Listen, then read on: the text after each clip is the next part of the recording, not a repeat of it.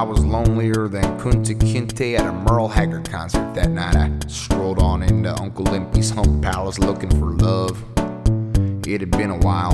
In fact, 365 had come and went since that midnight run hauling hog to Shaky Town on I 10. I had picked up this hitchhiker that was sweating gallons through a pair of Daisy Duke cutoffs and one of those Fruit of the Loom tank tops.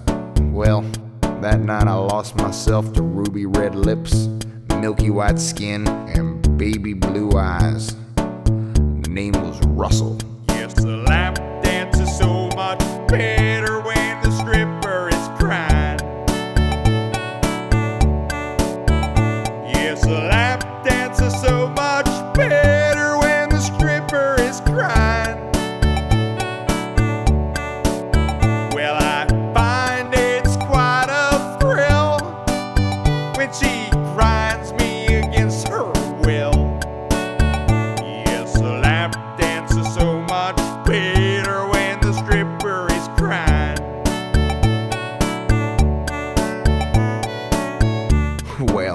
faster than you can say shallow grave, this pretty little thing come up to me and starts kneading my balls like hard-boiled eggs in a tube sock.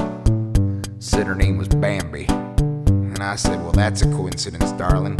Cause I was just thinking about skinning you like a deer. Well, she smiled, had about as much teeth as a jack-o'-lantern, and I went on to tell her how I would wear her face like a mask as I do my little kooky dance. And then she told me to shush. I guess she could sense my desperation. Of course, it's hard to hide a heart on when you're dressed like Minnie Pearl. Yes,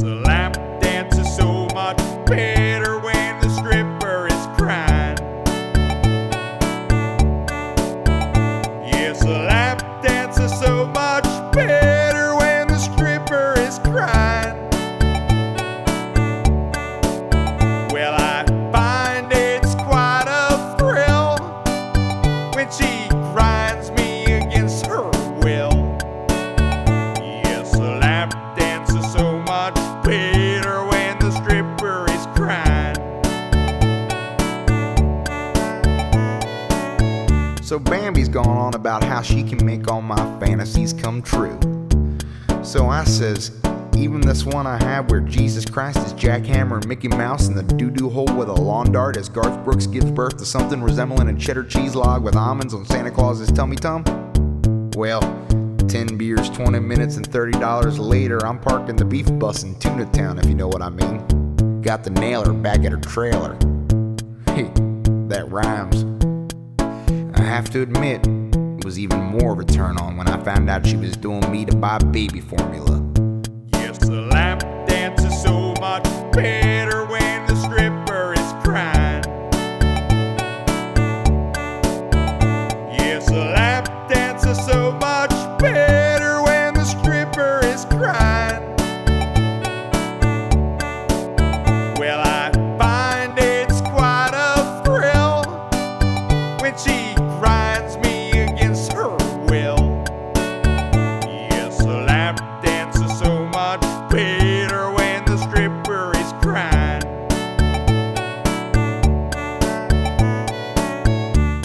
so had passed when I popped the clutch, gave the tranny a spin, and slid on into the stinky pinky gulp and guzzle big rig snoozer stop.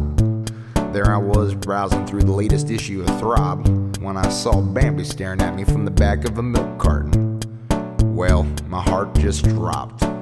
So I decided to do what any good Christian would. You cannot imagine how difficult it is to hold a half gallon of moo juice and polish the one eye gopher when you're doing 75 in an 18 wheeler. I never thought missing children could be so sexy. Did I say that out loud?